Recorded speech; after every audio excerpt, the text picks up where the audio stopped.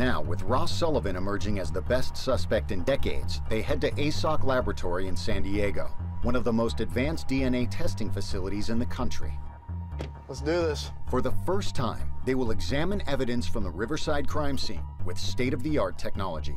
We know that if this crime was Zodiac, it was early on during his killing career, which means he was making mistakes. So there's potential that the killer left his DNA on the evidence. And if we can solve Riverside, we can solve Zodiac. All right, so this is our pants.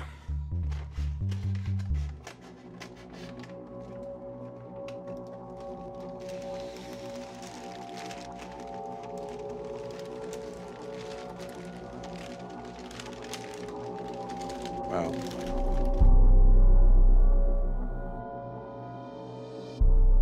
The dirt still on there. Oh, yeah. From 50 years ago.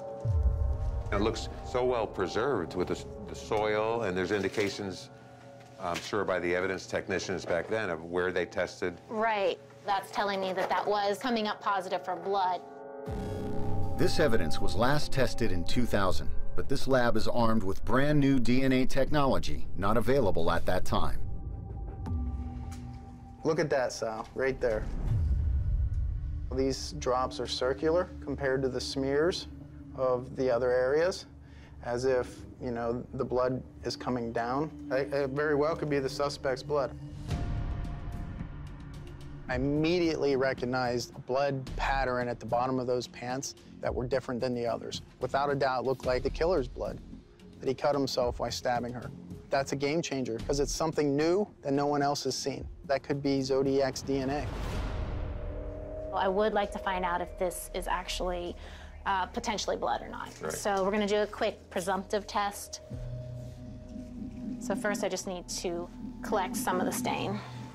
This is the first time this stain, which appears to have been left by the assailant, has ever been tested. If it's positive for blood, we're gonna see a pinkish color change.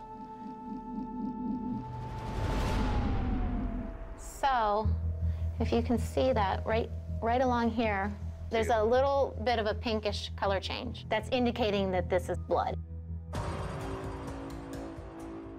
mean, this is a tremendous break for us. AISOCC specializes in getting DNA from trace amounts and degraded evidence.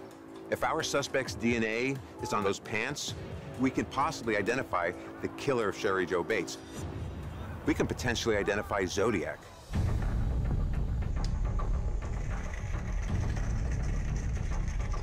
Focusing on the suspicious blood stain, the technician utilizes MVAC suction technology, which is 22 times more powerful at extracting DNA than traditional methods. See the discoloration? That could all be DNA from our suspect. The DNA will be sent to a forensics lab in Virginia to try and create the first ever DNA profile of the Riverside Killer. The question, will it match the Zodiac?